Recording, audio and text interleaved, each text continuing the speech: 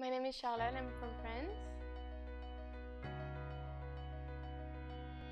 I would say that people are nicer in Seattle, more open-minded, um, a little bit more interesting.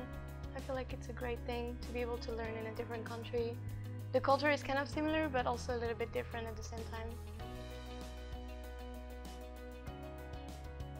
I feel like if I did not come here, I, I, did, I wouldn't have learned English the way I know it now. I think it's a really big opportunity that I got, so I'm able to then travel all over the world and be able to communicate with people. And I think that I met really awesome people in this school that I wouldn't have known without being here. Talk to as many people as they can because it's a great way to network, to meet some um, different people from different cultures, be able to learn about something else that their own country.